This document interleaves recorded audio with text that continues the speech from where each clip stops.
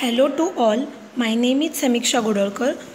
I am assistant professor in SND College of Engineering, Yeola. I was taught the subject of uh, basic electronics. In basic electronics, in last video lecture, we see the amplitude modulation, first type of amplitude modulation. Now we see the second type of amplitude modulation. Sorry, second type of modulation that is frequency modulation, also called as FM. In angle modulation, it is basically of two types phase modulation PM, frequency modulation FM. Frequency range for angle modulation is 88 MHz to 108 MHz. In phase modulation, we see both the types firstly phase modulation and then frequency modulation. In phase modulation, phase of the carrier is varied in accordance with the instantaneous value of the amplitude of the modulating signal, keeping the amplitude of the carrier fixed. VPM is equal to AC cos of omega CT plus PD, where PD is the phase difference. In frequency modulation, in frequency modulation, frequency of the carrier is varied in accordance with the instantaneous value of the amplitude of the modulating signal keeping the amplitude of the carrier fixed as shown in a slide.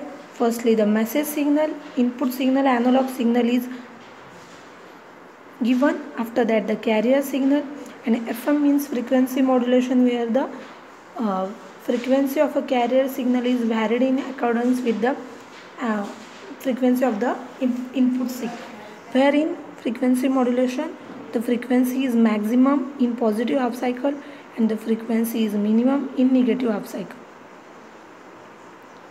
Frequency modulation let f of t is equal to Vm cos of omega mt that is modulating signal and Vc of t is equal to AC cos of omega ct that is carrier signal. Then frequency modulated signal will be Vpm of t is equal to AC cos of omega ct plus Km integration of cos of omega mt where mp is the modulation index and AC is the amplitude of a carrier.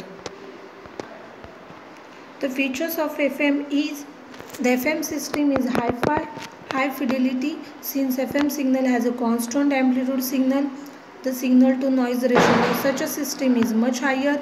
The frequency spectrum of FM is same as that of a AM in case of narrow band frequency modulation but in general the number of sidebands and carrier amplitude varies according to the modulation index MF.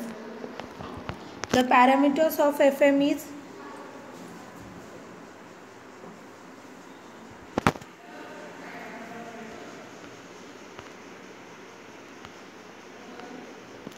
FM requires infinite amount of bandwidth for transmission since the number of sidebands are infinite in FM signal.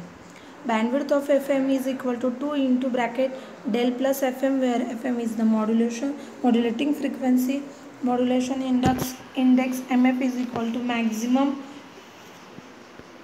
deviation divided by modulating frequency is equal to del upon MF modulating frequency MF power of FM it is always constant in FM P is equal to power of FM P is equal to AC raised to 2 divided by 2.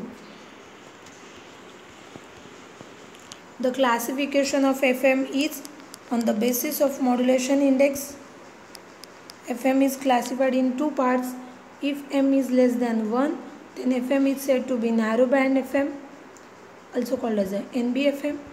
If M modulation index is greater than 1 then FM is said to be a wideband FM which is, which is also called as a WBFM wideband FM. In narrowband FM and wideband FM is in narrowband FM the maximum modulating frequency is 3 kHz and maximum frequency deviation is 75 kHz. In wideband FM, the maximum modulating frequency is 30 kHz to 15 kHz and maximum frequency deviation is 75 kHz. The bandwidth of wideband frequency modulation the wideband frequency modulation is the maximum modulating frequency is 30 kHz to 15 kHz and maximum frequency deviation is 75 kHz. bandwidth of wideband fm is 15 times of that of narrowband fm in today's video lecture we see the uh, frequency modulation. Also we see the phase modulation. Definition of phase modulation is phase modulating modulation. Phase is changes. Phase of the carrier signal is varied in accordance with the input signal and in frequency modulation frequency of the carrier signal is changes according to the modulating signal. Um, this is the equation of frequency modulation. After that we see the parameters of fm after that we see the classification of fm and the classification is narrowband frequency modulation and second is wideband frequency modulation. We also see the Uh, narrowband frequency modulation frequency range and the wideband frequency modulation frequency range.